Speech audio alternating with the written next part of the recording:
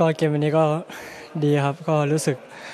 ดีใจครับที่ได้สัมผัสเกมเป็นเกมแรกด้วยครับ ที่ได้ลงครับก็ถึงจะแพ้ก็ไม่เป็นไรครับ ก็นำไป